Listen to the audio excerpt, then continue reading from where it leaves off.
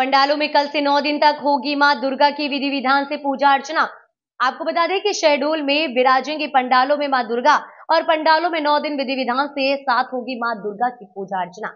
और आपको बताना चाहेंगे कि समितियों द्वारा धूमधाम से उत्साह मनाने के लिए तैयारियाँ भी तेज कर दी गई हैं और जगह जगह गरबे का आयोजन भी किया जाएगा। और ज़िले में जगह जगह पंडालों में विशेष सजावट की जा रही है। वहीं मूर्तिकार माँ की प्रतिमाओं को अंतिम रूप देने में जुटे हुए हैं। शहडोल शहर में इंदिरा चौक रेलवे कॉलोनी घरौला मोहल्ला, सब्ज़ी मंडी स्टेडियम के पास सुहागपुर जिला अस्पताल के सामने पटेल नगर बस स्टैंड सहित ज़िले में जगह जगह समितियों के द्वारा पंडालों में सजावट की जा रही है। नौ दिन तक ज़िले भर में धार्मिक कार्यक्रमों का आयोजन किया जाएगा और दशहरे का पर्व दसवें दिन धूमधाम के साथ मनाया जाएगा।